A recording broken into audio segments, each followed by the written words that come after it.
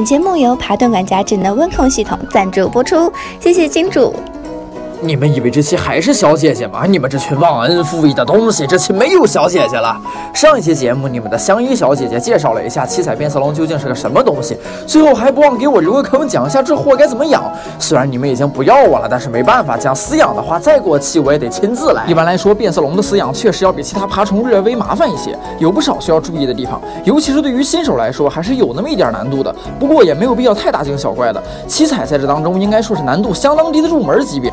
首先，龙肯定是不能散养的，你就别指望它满屋给你抓蚊子了。但是它们对环境通风的要求还很高，所以绝对不能闷着。那么楼长推荐用网箱饲养，而且七彩大多数时间都在树上活动，很少下地，所以网箱也要尽量选择高一点。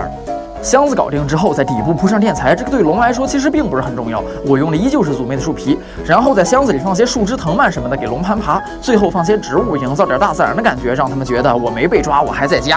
在这里要说，植物是用来给它们躲藏、增加安全感的，所以真假均可。我用的都是真植物，主要是为了提高湿度。另外多说一句，我图省事儿用的是绿萝，大家都知道这东西虽然常见，不过是微毒。有的龙有啃食植物的毛病，如果个体较小的话，误食很可能有麻烦。所以如果你家龙喜欢啃叶子，最好选择一些安全性较高的植物。内部环境安排好了，就要说最重要的温度、湿度和光照了。必备灯具还是一样，白天加温的 UVA，日间温度保持在二十七到二十九度，不要超过三十一度。夜间加温的夜灯，将夜晚温度控制在二十四到二十六度左右。在这里要注意，营造昼夜温差至关重要，尤其是夜间，一定要把温度给我降下来。夜晚是龙体内保水的过程，夜间过高的温度很容易让它们睡着睡着就脱水了。除了加温设备，你还要配一个 UVB 灯，帮助它们自身合成维生素 D 三，更好的吸收钙。但是对龙来说，UVB 的选择也是很有讲究的。虽然它们需要 UVB，但却对其十分敏感，太强的话很容易造成瞎子。所以选择用祖妹的十三瓦五点零即可。切记，照射距离不宜过近，保持在三十厘米左右，时间也不宜过长，每天七到九小时，记得按时开关灯。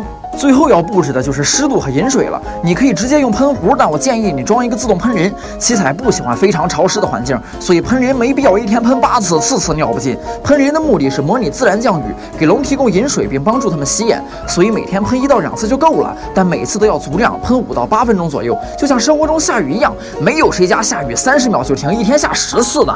环境布置好就可以把龙放进去了。日常来说，七彩都是单独饲养的，混养早晚缺胳膊少腿。刚到家的话，静养两天再喂食，不要老管它，让它们自己熟悉环境。喂食的时候找一个小塑料杯，把食儿放进去就行了。